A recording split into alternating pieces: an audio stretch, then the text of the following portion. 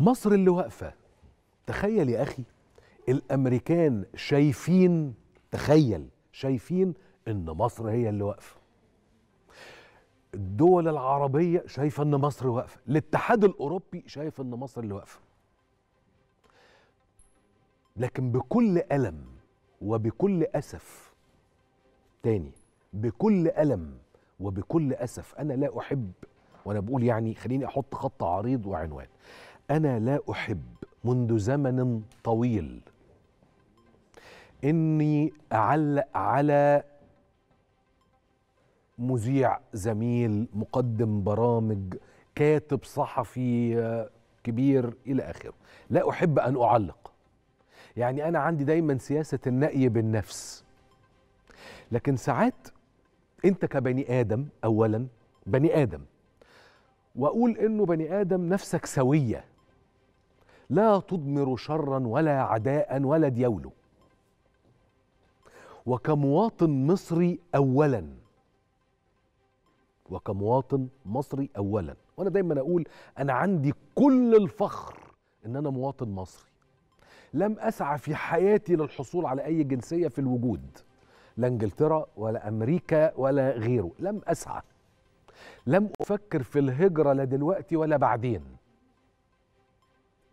أكبر تصوراتي إن أنا يوم ما أطلع معاش أبقى محوش قرشين آخد بيت في أسوان وأروح أقعد هناك على شط النيل يا جميل.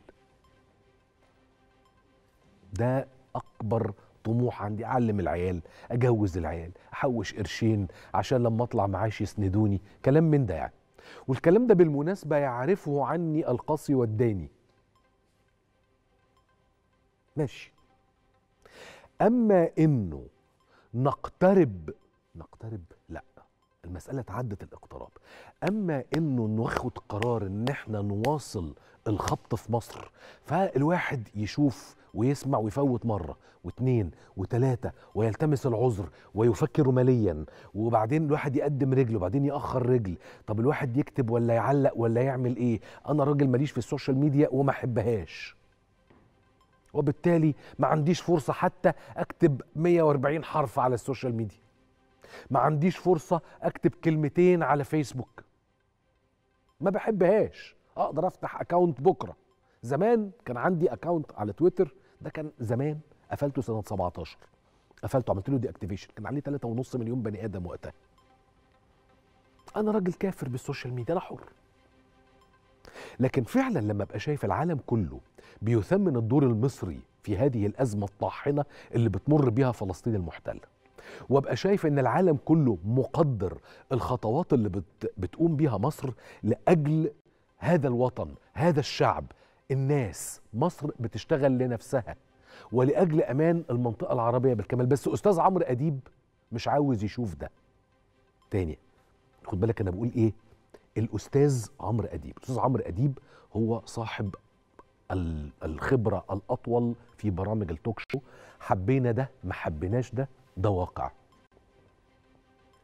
وليس بيني وبين الأستاذ عمرو أديب وهو يعلم ذلك جيدا أي خصومه على الإطلاق بل بالعكس. بينا ود. حتى لما جوز ابنه خالد بعت له ألف مليون مبروك. بينا ود. أزيدك من الشعر بيت وبيننا علاقة طيبة. لكن لا أتدخل في شغله ولا أعلق عليه زي ما أنا ما بحبش حد لا يتدخل في شغلي ولا يعلق عليه. لكن نصل لمرحلة إن أنا بقالي أكتر من سنة أشوف الحلقات أو مقاطع الفيديو بتاعت الأستاذ عمرو أديب في إصرار شديد إصرار شديد على ضرب المجتمع المصري من الداخل التشكيك في المؤسسات المصرية طول الوقت التشكيك في أي خطوة مهما كانت. إذا وصفها العالم بأنها ناجحة الأستاذ عمرو يشوفها وحشة. إذا حصل يا راجل ده سعر الدولار انخفض في السوق السوداء الأسبوع اللي فات الأستاذ عمرو كان زعلان. طب الدولار زاد الأستاذ عمرو برضه زعلان. طب زاد زعلان أنا فهمت. طب لما انخفض زعلت ليه؟ ليه؟ إيه اللي خلاك للدرجة دي متضايق يا عم يوسف؟ هقول لك حاجة. الحلقة بتاعت أستاذ عمرو أديب لما كان قاعد بيتكلم مع دكتور الأسنان أستاذ سمير غطاس. دكتور الأسنان أستاذ سمير غطاس حتى تلاقي في حاجات غريبة كده. سمير غطاس مع حفظ اللقب ليس حاصلا على شهادة الدكتوراه في العلوم السياسية. هو راجل دكتور سنان بالأساس. وهنحكي حكايته بعدين. هو عنده طبعا ادعاء عظيم بأنه كادر عظيم في حركة فتح وهذا لم يحدث. وبالمناسبة قبل ما الأستاذ سمير عشان هو بتاخده يعني إيه الجلالة وبتاخده العصبية وبينفعل وبتاع أنا ابن مصطفى الحسيني وأنا الصندوق الأسود بتاع مصطفى ومش ولا واحد من إخواتي بالمناسبة. أنا والقيادات التاريخية الباقية من فتح حتى اللحظة يعرف يعرفون ويعلمون جيدا إن يوسف يوسف ده المأمون. أنا بجيبها لك على بلاطة. وده مش الاسم الحركي يعني ماليش اسم حركي ده المأمون. أنا الصندوق الأسود بتاع مصطفى الحسيني. أوراق فتح عندنا. فتعالى لي بعد كده شوية يا أستاذ سمير هنتكلم.